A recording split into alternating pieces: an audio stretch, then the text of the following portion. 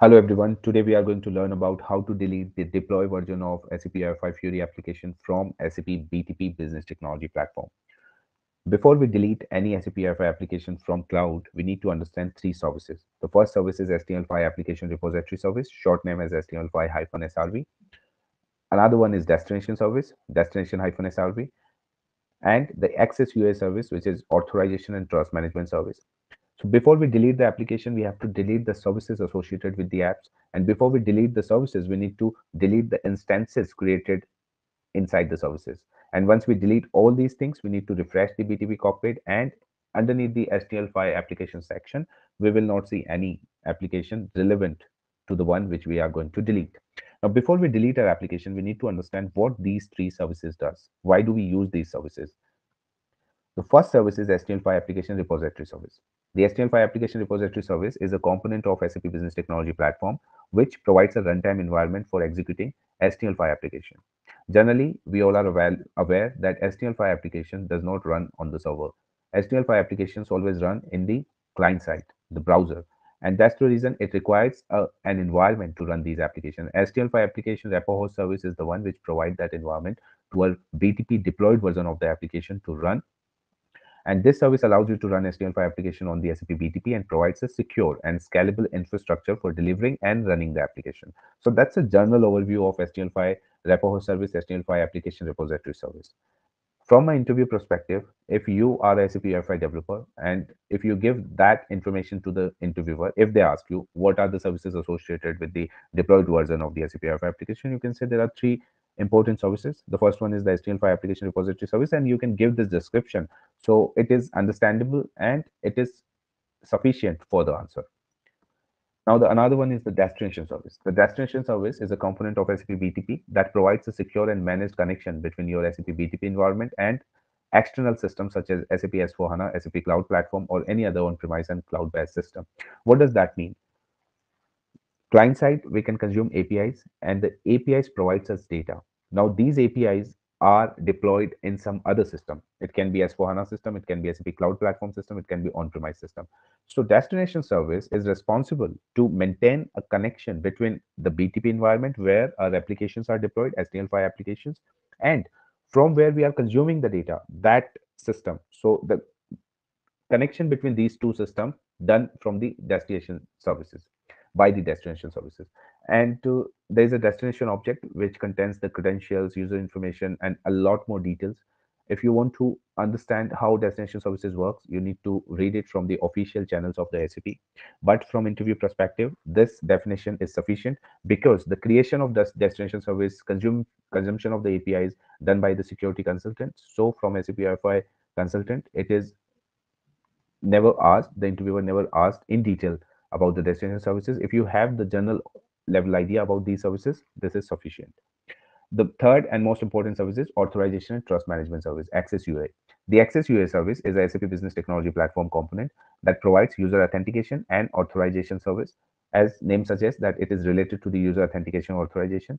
It is based on the SAP Cloud Platform Identity and Access Management, IAM solution. It is based on this solution, which is already available on SAP Cloud Platform. It provides a secure and scalable infrastructure for managing user authentication authorization for SAP BTP application. So we can do a lot more. We can restrict a particular user. We can restrict the user for CRUD operations. We can restrict the user to doing any sort of activity in the application. So on application level, we can restrict multiple user. But again, this is a security developer work. So from SAP UI5 consultant, interviewer doesn't ask in-depth question. They just ask do you have a general level idea what XSUAA service does? And since it is automatically created at the time of deployment of the ui5 application so you don't have to worry much about it. But being a ui5 developer you should have a confidence of idea that you have at least idea about these services. How does these services work? And you can read about it from the official channels of sap and it also has the capability of single sign-on. And if you say this line to the interviewer then you also need to read a little bit about SSO capabilities so you can better explain them how XSUAA services used for SSO, the single sign-on configurations. Now we will see the practical way how we can identify these services and how we can delete it from the business technology platform. so we need to go to our trial account we need to click on go to your trial account inside your trial account once once we are inside our sub account we will find instances and subscriptions link and in the left hand side underneath the services you can find instances and subscriptions. Here you will find the list of subscriptions which you have subscribed the list of instances which has been created and the list of environments. So inside the list of instances in a real world env environment right now we are working in a trial account and we have only one or two applications that we are deploying. But in a real world environment, you will find multiple instances of different services. And at that time, it becomes extremely difficult to find out which instance I should delete. To overcome this issue, you need to click on Cloud Foundry and you need to go inside the spaces. Once we are inside a dev space, once we are, so there could be multiple spaces. Now you need to identify that our SAP application, since you have deployed it, so you can find out which dev space it is deployed, right? Inside that dev space, you need to go left hand side and of course here you can see the application as well then you go to instances. Now these are the instances particularly for this dev space. So if our application is deployed in this dev space the supported instances would also be created here. Now i tell you an easy way how to identify our service. We can identify service using the component name of our application. If i can quickly show you in my bank detail application we have deployed this. If you will go inside the web app folder you will find a file called manifest.json and underneath the sap.app section you will find the id com.sap.mybankdetails this is the component name of our application. Now this component name you need to identify using this component name where which is our application. So if i can say com.sap.mybankdetails if i go to my trial home and inside the instances these are the instances available. So I can open them one by one on the left hand side, right hand side.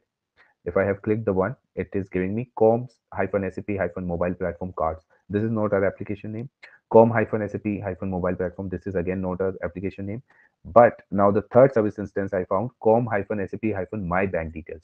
And then it is written destination service. So this is a clear understanding. This is a destination service because my application component name is visible here. The same component name we have here it means this is the destination service for my bank details application. And we need to delete this service. Now if i directly try to delete the service it will not delete it because it will say couldn't delete the service instance destination service reason the instance has a service key. So before we delete that instance we need to delete the associated service key. As soon as we delete the associated service key then we can delete the destination service. So first i will click on these three dots and i click on delete button. And i will confirm that I want to delete this service key. And in a fraction of second, the service key would be deleted. And as soon as the service key is deleted, we can delete the service as well.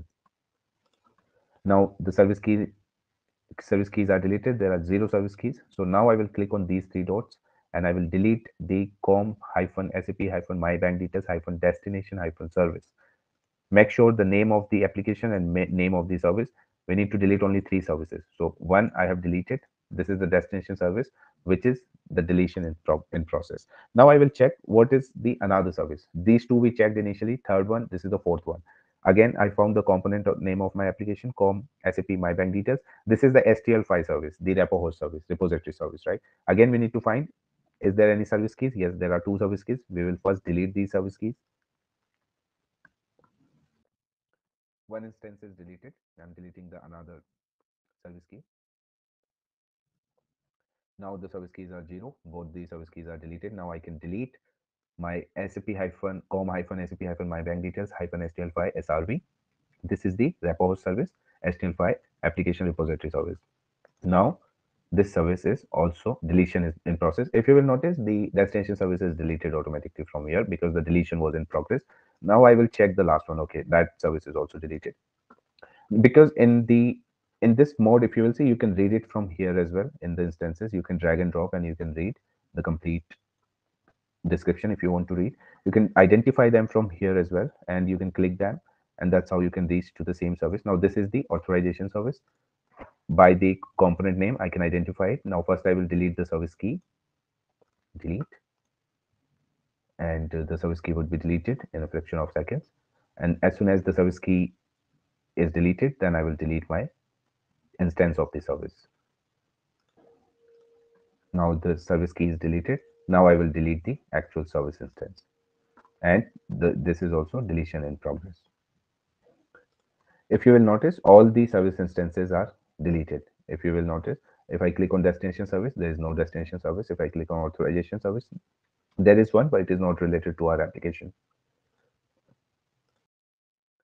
once we have deleted all the service instances now we will again go back to the trial account because when we run SAP UI5 application, we run it from the HTML5 application, right?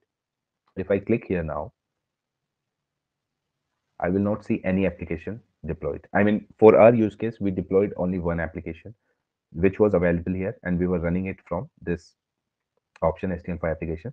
But since I have deleted all three service instances associated with the service, the application is also not visible here anymore. So that means if you delete three instances of the service, the application would be deleted from the cloud platform, from the business technology platform.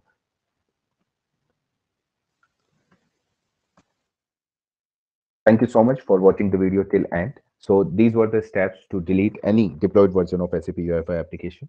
I'm your instructor Naveen Sharma. This is my email techtutsindia@gmail.com. You can reach out to me for any query related to the courses. If you want to find out the structured courses of SAP UI5 Fiori and communication skills, interview related courses, everything is available on techtutsindia.com website. So please visit this website. And if you have any query related to the subjects related to the course prices, if you need any discount coupons, you can reach out to me on my Instagram account, on Tech India Instagram account, and I would happy to reply your queries. Thank you so much for your participation. Have a great day.